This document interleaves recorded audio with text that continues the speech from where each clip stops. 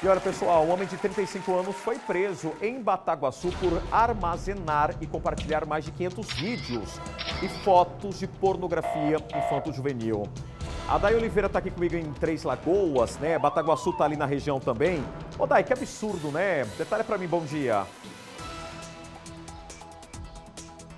Oi, Rodrigo. Bom dia para você. Bom dia a toda a audiência do Balanço Geral. Absurdo. Para não falar nojento também um caso desse. A gente não entende como uma pessoa tem coragem de fazer isso. Este homem de 35 anos foi preso na cidade de Bataguaçu, pertinho aqui de Três Lagoas, a cerca de 120 quilômetros mais ou menos. Faz parte da região Costa Leste. E este homem, o suspeito, estava sendo investigado pela Delegacia Especializada de Proteção à Criança e ao Adolescente por seis meses. Durante a 26ª fase da operação Operação Sentinela, que foi organizada então pelo Núcleo de Inteligência da Polícia Civil ali da cidade. Ele foi preso em flagrante. A polícia encontrou com ele cerca de 500 vídeos, Rodrigo, 500 vídeos que estavam ali com imagens pornográficas e tinha também até mesmo situação de sexo explícito com crianças e adolescentes. Segundo a informação da polícia, ao adquirir essas imagens, ele compartilhava imediatamente. Além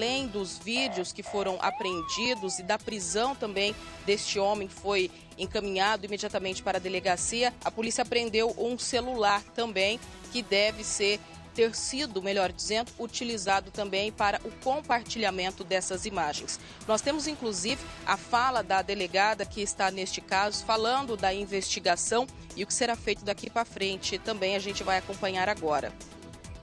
Quando conduzido à delegacia, ele confirmou que adquiriu esse, esse material de pornografia infanto-juvenil, através de qual plataforma, como ele fazia o, o pagamento. A equipe do NIP da DPCA já estava investigando esse autor há seis meses e conseguimos localizar mais de 500 vídeos de pornografia infanto-juvenil é, com ele.